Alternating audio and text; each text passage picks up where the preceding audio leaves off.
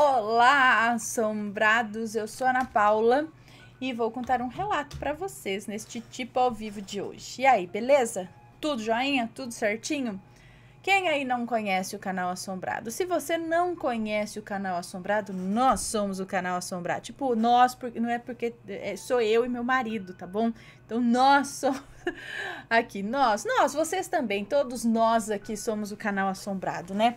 Porque as histórias aqui são suas e são de vocês, vocês que mandam as suas histórias pra gente para compartilhar com todo mundo aqui. E nós temos vídeos todos os dias no canal.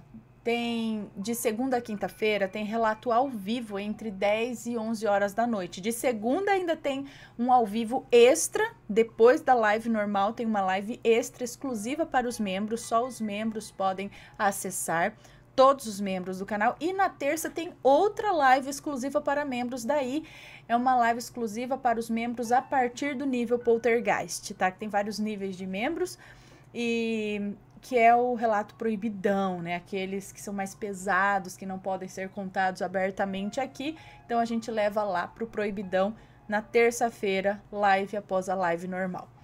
E aí, Uh, de, nas noites de sexta, sábado e domingo, sexta à noite, sábado à noite, domingo à noite, 10 horas da noite, tem um tipo ao vivo para vocês. Às 11 da manhã, todos os dias, tem relato também. Tem tipo ao vivo de segunda a sexta, coletânea de relatos no sábado, coletânea temática de relatos no domingo, meio-dia e meia, daí é horário do Matheus, com o Manac Assombrado de segunda a sexta, notícias de sábado e domingo e de domingo especial. Ok? Ó, embacei aqui. Uh, volta, foca! Aí. Não se esqueçam que temos uma loja virtual, a lojaassombrada.com.br. Vai lá dar uma fuçadinha, tem várias camisetas que brilham no escuro, que não brilha, dá uma olhada lá. E, é claro, deixe o seu like neste vídeo, tá bom?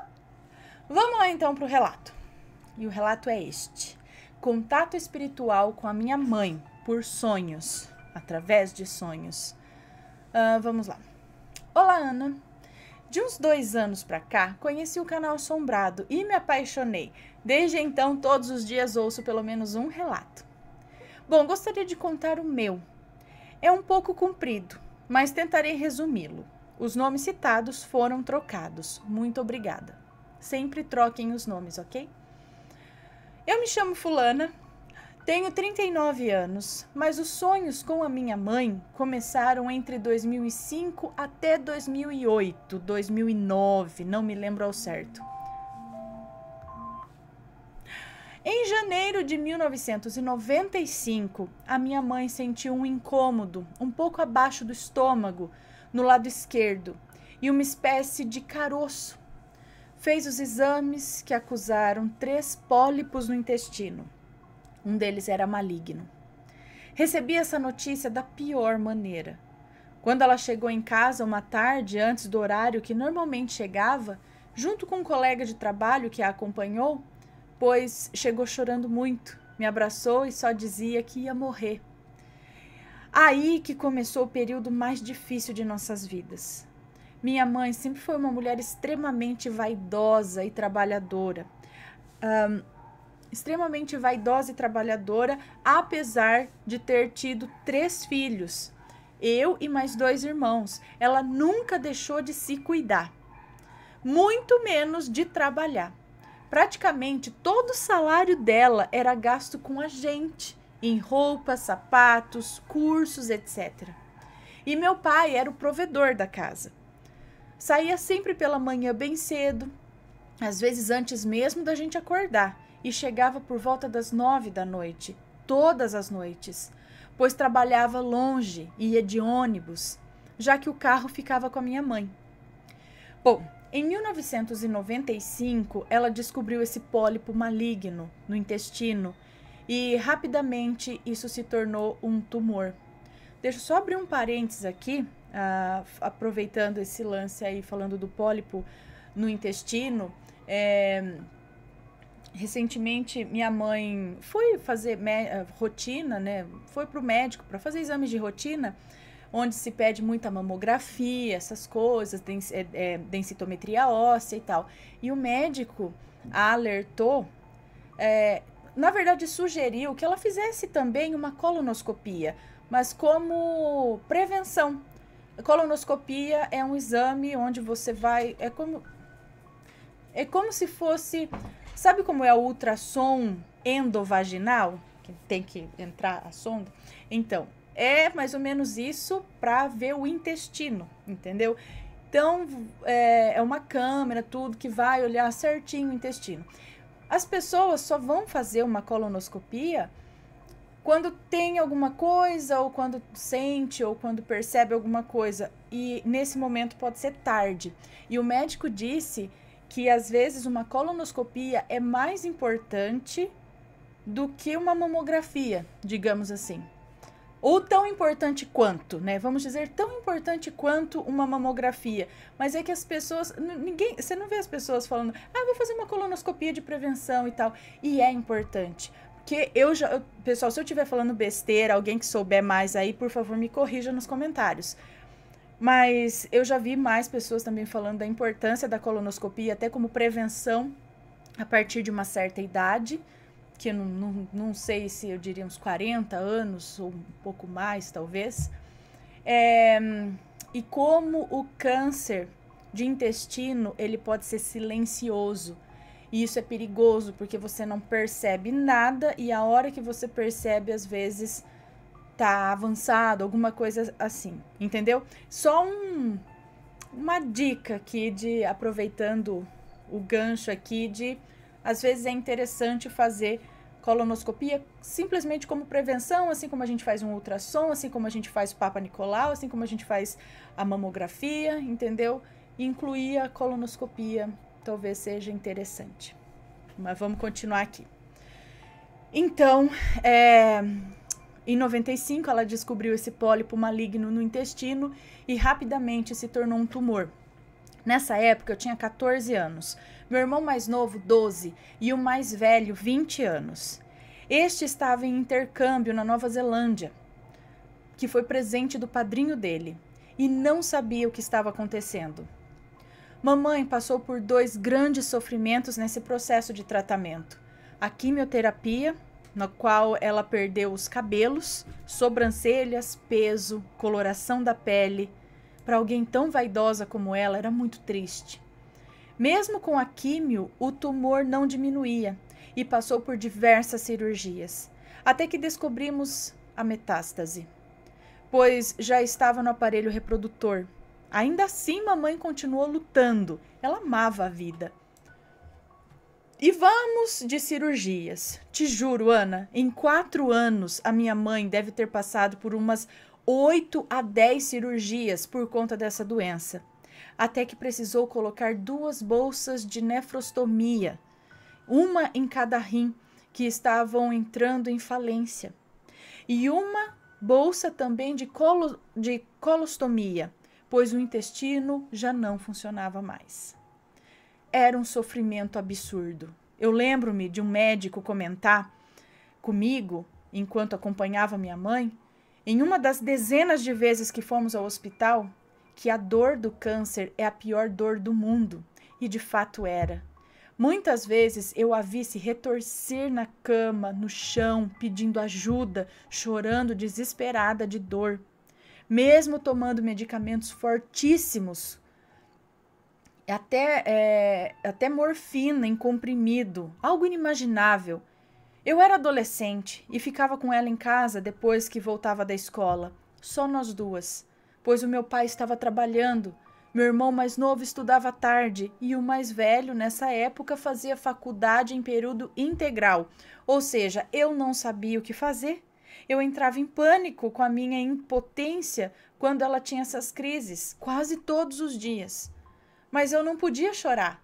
Eu tinha que ser forte para ela eu tinha que ser forte para ela confiar em mim e que eu estava cuidando dela. Foram quatro árduos anos de batalha contra essa doença. E infelizmente, no último ano, a minha mãe sucumbiu e perdeu. Definhou de tal forma que nem gosto de me lembrar. Mas precisava contar todo esse processo para que, entend que entendam os sonhos. Mamãe faleceu em casa em 15 de dezembro de 1999, aos 48 anos de idade, no dia do aniversário do meu pai. Todas as noites, durante esses anos de enfermidade, eu dormia num colchonete ao lado da cama dos meus pais, pois mamãe sempre acordava à noite ou de madrugada para limpar a bolsa de colostomia. Eu a levava ao banheiro, quase carregando-a, pois não tinha mais forças para andar sem um apoio. Sentava numa cadeira dentro do box e lavávamos as bolsas, além de ficar de prontidão para qualquer outra coisa. Ou seja, eu quase não dormia. Mas naquele dia, ou melhor dizendo, naquela noite do dia 14 de dezembro, estava muito cansada. Eu precisava dormir no meu quarto, na minha cama. Então meu irmão mais velho dormiu no colchonete aquela noite. Acordei pela manhã do dia 15, por volta das seis e meia da manhã, e vi meu pai na cozinha, tomando um copo de água e chorando. Eu fiquei atônita, mas não falei nada. Me encaminhei até o quarto e, ao passar na sala, meus irmãos chorando. Uma vizinha nossa em casa, aquele horário. E no quarto, sentado ao lado da minha mãe, minhas outras mais outras pessoas que eu não sei dizer quem eram agora. Bem, mamãe havia partido em casa. Não sei dizer bem ao certo o que eu senti na hora. Eu me sentei ao lado dela. Não estava totalmente fria, o que me deu uma certa esperança de que ela estava viva. Fiquei procurando seu pulso e dizia para as pessoas: Ela não está fria, chama um médico.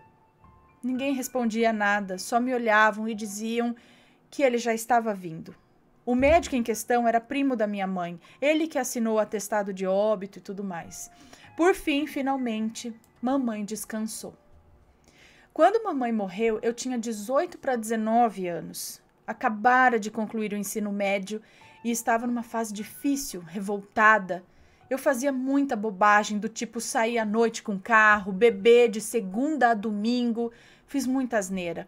Dei trabalho para o meu anjo e preocupação para o meu pai, que já estava aposentado. Foram se passando os anos e fui virando gente. Comecei a trabalhar e a vida seguiu para todos nós. No entanto, alguns anos depois, acho que 2004 ou 2005, eu comecei a sonhar com a minha mãe. E nos sonhos conversávamos muito. Sabia que ela havia falecido, mas conversava com ela de forma tão natural como fazíamos no cotidiano. Na cozinha, enquanto eu descascava batata para janta ou limpava o feijão e coisas assim. Em outro sonho, não sei dizer o espaço de tempo de um sonho para o outro, estávamos na sala conversando e vendo TV com o meu pai e meus irmãos. Outro sonho, ela varria o chão. Ela era ficcionada por limpeza também. Enquanto eu fazia qualquer outra coisa, sabe? Enfim, como se ela estivesse viva e nada daquilo, nada daquilo tivesse acontecido. Mas há dois detalhes nos sonhos. Nos primeiros anos de sonhos, sim, eu sonhei com ela direto por alguns anos. Mamãe estava com aparência bem doente, igual de como ela estava no finalzinho de sua vida terrena. Também notei que somente eu a via e ouvia, mesmo com outras pessoas por perto, como meu pai e meus irmãos. Certa vez, em um dos sonhos, perguntei a ela sobre a tia Marinalva, se ela a tinha visto, como ela estava e tal. Mamãe ficou um pouco sem saber o que responder, como se quisesse me poupar de algo. Disse apenas que ela ainda estava em recuperação, pois o tempo e espaço entre a nossa dimensão terrena e a deles são bem diferentes. Tipo, o tempo equivale a um ano na Terra no plano deles, equivale a uma semana ou algo assim. Tia Marinalva enviou cedo e não teve filhos. Tinha minha mãe como uma filha e a mim como uma neta. Ela já era idosa, 85 anos, mas sempre foi muito ativa. Depois da morte da minha mãe, adoeceu e morreu literalmente de tristeza em 2002. Certa vez, depois de um tempo que a minha mãe havia morrido, perguntei à tia Marinalva quem a avisou sobre sua morte, já que ela estava internada no hospital por conta do diabetes. Então ela me disse que já sabia, pois mamãe tinha ido se despedir dela naquela mesma noite. Elas eram muito ligadas. Com o passar do tempo, minha mãe foi apresentando melhoras na sua aparência em meus sonhos. Aos poucos, vinha engordando um pouquinho, ficando corada, os cabelos cresciam. É como se ela estivesse se curando no outro plano. Em 2006, tive um sonho que me marcou muito. Tanto que quando eu acordei, a primeira coisa que fiz foi pegar um papel e uma caneta para escrevê-lo, assim eu não esqueceria. Nesse sonho estava eu e meu pai no antigo prédio amarelo do ambulatório do Hospital das Clínicas. Não sei o que fazíamos lá, mas um determinado momento me perdi do, me perdi do papai e então rodei todos os andares atrás dele. Eu subia e descia diversas vezes as escadas, entrava nos corredores que davam acesso aos consultórios, salas de procedimentos, até na copa eu entrei para procurá-lo. Durante esse tempo aconteceram várias coisas, como conversar com médicos, enfermeiros, sempre perguntando pelo meu pai, mas eu não lembro exatamente o teor das conversas. Parecia que havia passado tipo o dia inteiro à procura dele. Até que cheguei num andar que parecia uma pediatria ou UTI pediátrica, pois era uma sala branca com desenhos e alguns brinquedos pendurados nas paredes. Tinha um balcão com uma recepcionista falando ao telefone e uma espécie de sofá do lado direito da recepção. Nesse sofá estavam sentados e abraçados um casal de jovens, meio que chorando, ao lado deles, minha mãe, toda de preto. Quando ela me viu entrar na recepção, tomou um grande susto e eu também. Eu fiquei muito emocionada, nos abraçamos, choramos, até que ela me perguntou o que eu estava fazendo ali. Respondi que estava procurando o papai e ela falou que não era para eu estar ali. Conversamos mais alguma coisa que não me lembro e acordei com o coração muito apertado, angustiada. Lembro de ter mostrado o papel do sonho que escrevi para uma amiga, que tem um certo grau de mediunidade. Conversamos a respeito, mas também não lembro bem o que falamos, afinal, já faz tempo e alguns detalhes se perderam na memória. Passaram-se alguns dias e o marido de uma prima do meu pai faleceu. É, o marido de uma prima do meu pai faleceu. Logo, associei o sonho a ele. Mas não fazia sentido, porque quase nem tínhamos contato já há muitos anos. Semanas depois, no mês de junho de 2006, liguei para o meu pai por volta de umas 11 da noite. Nessa época eu tinha 25 anos, já não morava mais com ele. Liguei para ele para saber se estava tudo bem, pois ele ainda não havia me ligado como de costume. Sempre às nove da noite, ele sempre ligava e o celular só chamava, chamava e caía na caixa postal.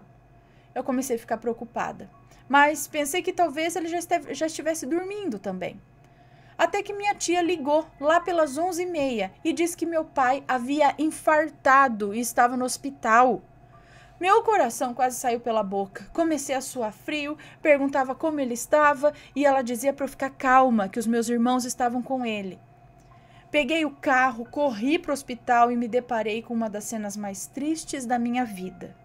Meu pai, gemendo de dor no pronto-socorro, com o médico plantonista tentando estabilizá-lo, pois o plano de saúde estava demorando para autorizar a angioplastia que ele tinha que fazer. Bom, o plano demorou tanto, o plano de saúde demorou tanto que o médico teve que partir para o plano B, palavras dele, estabilizar com medicamentos. Após isso, meu pai passou por uma cirurgia do coração, ponte de safena, perdeu boa parte do funcionamento das válvulas, mas sobreviveu. Depois de tudo o que passou, compreendi o sonho. Mamãe estava esperando o papai naquele hospital, mas quando me viu, de certa forma, intercedeu para que meu pai não fosse, pois isso acabaria comigo, já que somos muito ligados. Por isso que, ao meu ver, por isso que, ao me ver no sonho, ela se assustou e disse que não era para eu estar ali. Continuei por mais algum tempo sonhando com ela, e a cada sonho ela estava melhor.